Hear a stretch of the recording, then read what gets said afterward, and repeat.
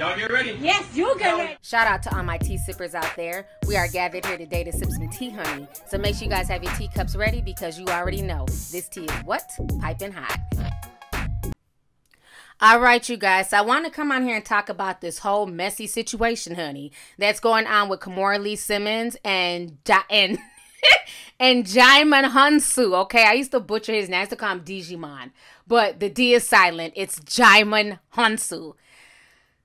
Djimon Hounsou. I'ma try. You know what I'm saying? I'm not. I'm good for butchering a name, but yeah. Anyhow, what's going down is this. So, um, Djimon um, basically showed cracks in this whole co-parenting foundation with Kimora Lee Simmons on Father's Day. So what happened was Father's Day of this year.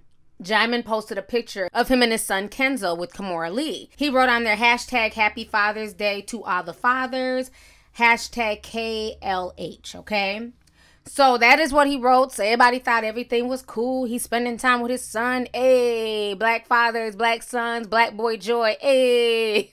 But that wasn't what the fuck was happening, okay? So what was going down is this. Um, literally the next day, messy ass TMZ. I'm sure they got a tip. They just happened to run into Djimon as he was going into some, you know, building. And so they were talking to him and saying, Oh, well, how was your Father's Day with your son? You know, did y'all have a good time? We seen the post on Instagram. And Djimon surprised the world by saying that he hasn't seen his son in forever.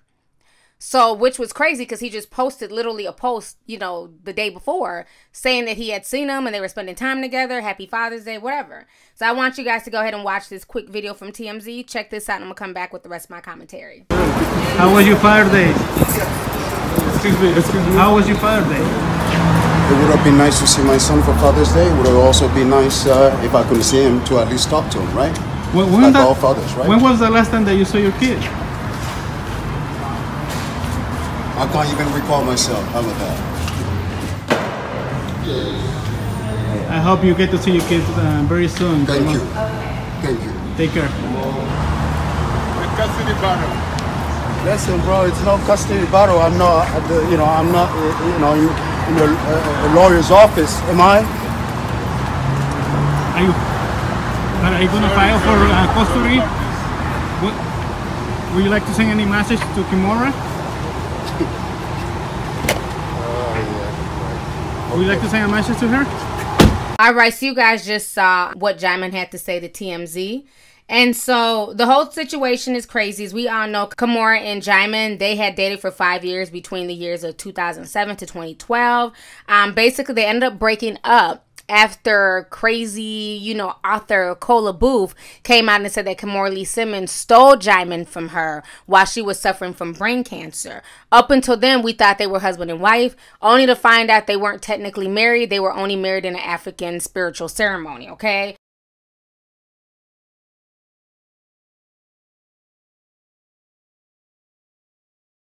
So they've been broken up ever since then. Kimora Lee got a whole new baby daddy, a whole new baby. I think her her youngest son is like now five.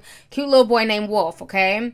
So she's always had this persona that she gets along with all three her baby's fathers. They're like this, you know, kumbaya, co-parenting goals. You know what I'm saying? But now, as of yesterday, uh, Djimon Hounsou basically went to court and he's filing for not only joint custody, he's also filing for damn child support, okay? This entire situation is crazy. Kimora Lee supposedly scared that he's going to take the child back to Africa. So I'm going to go ahead and read this article to you guys. Go ahead and check this out. So it's saying right here, Djimon Hounsou and Kimora Lee Simmons are now locked in a bitter custody fight.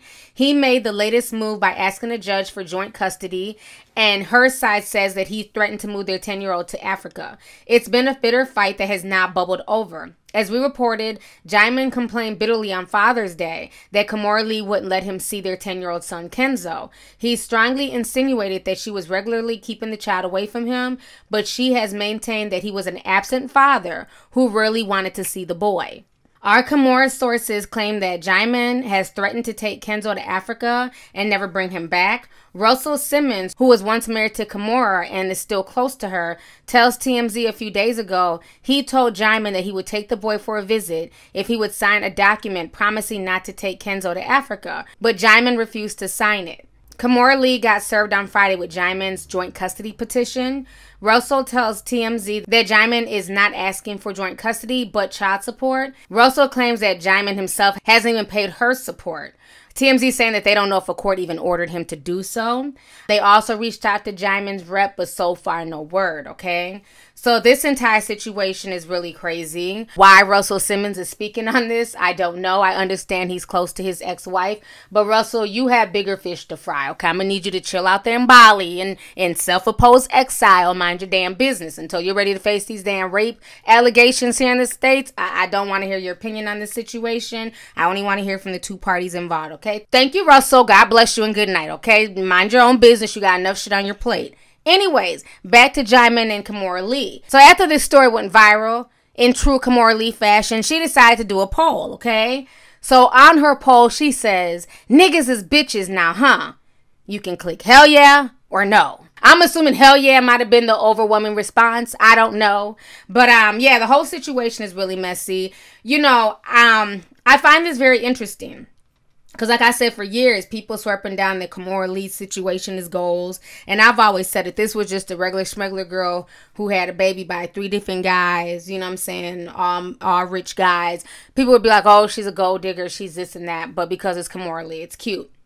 But my thing is this, okay? I don't understand why Djimon is just now fighting for custody if she's been keeping your child away from you and now allowing you to see your child, it shouldn't take, you know, TMZ and this whole situation back in June to force your hand. I think he should have been fighting to go get, you know, joint custody of that child. Now, if he wants to take the baby to Africa to go visit his side of the family, there's nothing wrong with that. There's pictures of Kenzo and Djimon in Africa prior.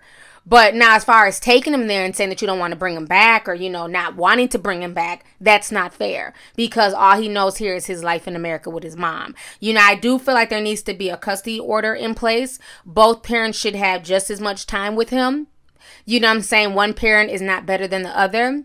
But the fact that he's also, you know, trying to apply for child support is very interesting, especially, you know, per, you know, messy mushmouth Russ. Um, he's never paid child support. So if you yourself has never paid child support and Kimora Lee didn't come for you for child support, then why turn around and try and get her for child support? You know, and I understand you want the child's lifestyle with you to be just as comfortable as it is with its mother because women do that all the time. But I just find it more spiteful. Especially she never went after him for child support. Now she went after him for child support, then it makes sense what's good for the goose is good for the gander. But being that even TMZ can't find a child support order that was ever placed on Djimon, that to me is kind of shady. That to me comes off as spiteful. If you want joint custody, get joint custody. Okay, you've made enough money, you know, starring in Amistad and you know a whole host of movies where you you can comfortably take care of your child. Let's not act like you're the fry cook at Bojangles. You're an actor. You're still getting work. So you know, I think him trying to touch Kimora's money that's kind of shady. But the whole situation is just really sad. You know, hopefully they'll be able to figure it out because at the end of the day, you know, hater or lover, regardless if you like Kimora or don't like her, whatever, I would say she's a damn good mother. I would never take that from Kimora Lee. She can have 10 kids by 10 different dudes. One thing about her is that she's raising well rounded children. I believe Kenzo speaks several different languages. We all know Miss Aoki. She recently got into Harvard.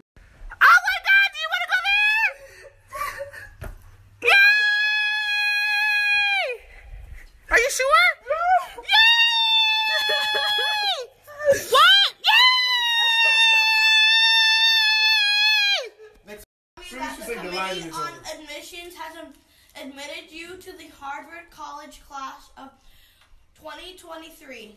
Yeah! You know, so she's really worked with those girls, and Ming is like now a budding model, very beautiful girl. Um, little Wolfie is just doing his thing. You know, he's a baby still. He's still young. He's like five, but she's a damn good mother. You know, so I mean, it's not like the boy's in danger or you know he's being mistreated she treats all of those kids fairly. I mean when you see her interact with her children it's a really beautiful thing.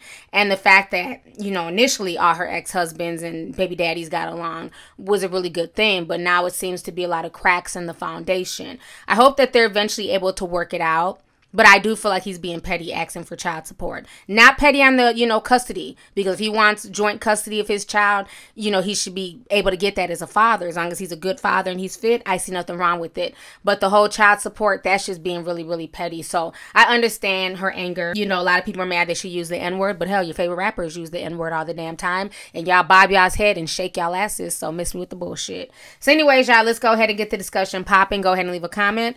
Let me know your thoughts on this entire crazy situation concerning Kimora Lee Simmons. Um, I don't know why she still uses that last name when she's had two other baby daddies. Okay. Um, but anyway, let me know your thoughts on this entire situation. Do you feel like, you know, Djimon is being very, very petty by asking for child support? Or do you feel like, you know what, it is what it is? And then do you agree with me that he should get joint custody? Should be fair, you know, 50 50. But you know, I also have to question why it's taken this long. If she's been playing games with the child and not allowing him to see his child, he should have been went to court. Period point blank. When women start playing games with y'all's kids, and if you really want to be in that child's life, you're gonna nip that shit in the bud. You're not gonna let years, months, whatever go by. He literally said in that interview with TMZ, I don't know the last time I seen my son. That's not a healthy relationship. If you don't know the last time you seen your child, that's insane. But you have so many men who do that, and then all of a sudden they're the victims. No, if you're not seeing your child and it's been a month or two months since you've last seen your child, obviously it's been years if he's saying he doesn't even know. So if it's been, you know, a month or two and you've not seen your child, at that point he should have ran to court. So this entire situation, like I said, it's crazy. It's going to be very interesting to see how it plays out. But Russell Simmons, we don't need any comments from the peanut gallery. So you got enough shit on your plate. Worry about them apples, okay, sir? Thank you. Anyways, y'all, let's go ahead and get the discussion popping. Go ahead and leave a comment. All right, deuces.